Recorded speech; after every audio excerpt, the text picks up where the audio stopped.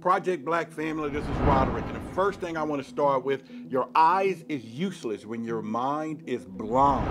Now we know the truth is not found in mainstream energy drinks. High amount of added sugar is significantly associated with 45 negative health effects. Reducing the amount of added sugar would change the risk factor numbers that put them at risk for future heart disease. Those are designed to keep us hype and keep our eyes closed and our minds closed. They're not sharp enough for the work that we do. We deserve resources that are designed for truth seekers, for those who refuse to settle.